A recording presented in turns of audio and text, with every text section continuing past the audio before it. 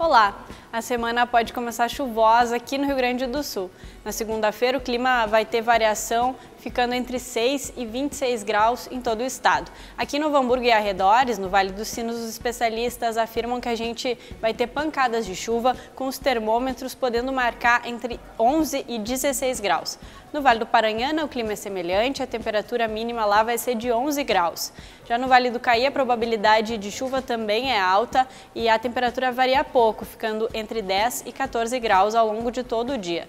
Na região das Hortênsias também tem possibilidade de chuva, com temperatura variando entre 5 e 15 graus.